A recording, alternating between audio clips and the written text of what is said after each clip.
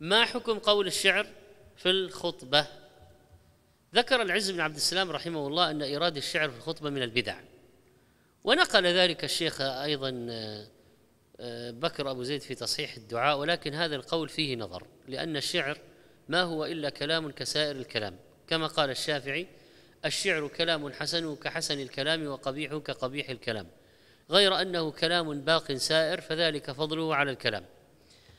فلا حرج على الخطيب أن يستعمله إذا كان فيه موعظة وحكمة وعظة. كما قال ابن الجوزي فإن من العوام من يعجبه حسن اللفظ ومنهم من يعجبه الإشارة ومنهم من ينقاد ببيت من الشعر صيد الخاطر.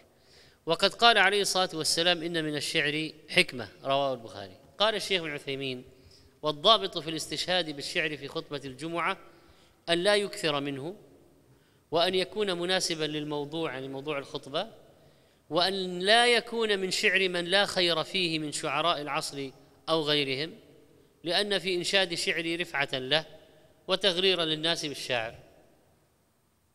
فاحيانا لأن هناك شعراء ملاحدة وشعراء أبو العلاء المعري مثلا وهناك شعراء فسقة معروفين من أهل المجون.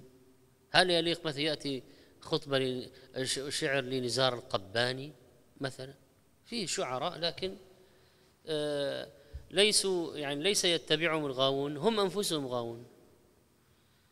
فلا فإذا يختار يختار. في هناك يعني قصائد زهديات مؤثرة مواعظ يوجد.